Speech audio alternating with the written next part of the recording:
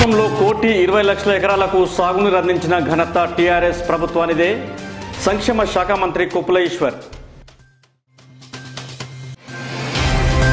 జెండా చౌరస్తా స్ఫూర్తి దివ్యాంగుల కేంద్రంలో ఘనంగా మాజీ ఎమ్మెల్యే విజయ రమణారావు జన్మదిన వేడుకలు.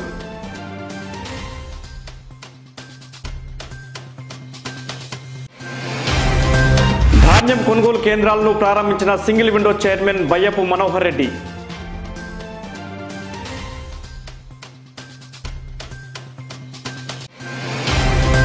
రంగంపల్లిలో కురుమ యువ చైతన్య సమితి ద్వితీయ వార్షికోత్సవ సభ.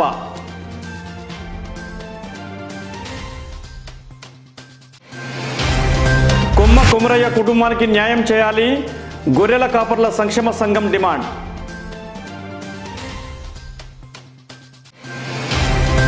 నిజామాబాద్ ఎంపీ దిష్టిబొమ్మను దగ్ధం చేసిన మాల మహానాడు నాయకులు.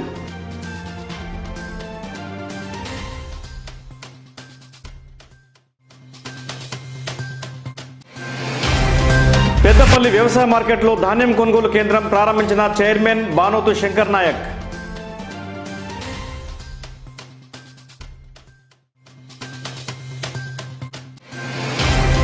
అప్పన్నపేటలో పది లక్షల ఎస్ఎఫ్సి నిధులతో నిర్మించే డ్రైన్ నిర్మాణ పనులకు శంకుస్థాపన చేసిన సర్పంచ్ చీకటి స్వరూప పోచాలు.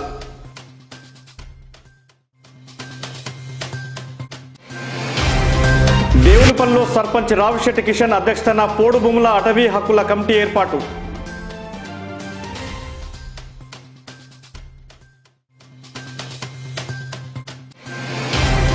అందుగులపల్లిలో వరధాన్యం కొనుగోలు కేంద్రాన్ని ప్రారంభించిన Appannapet PSCS vice chairman sarpanch.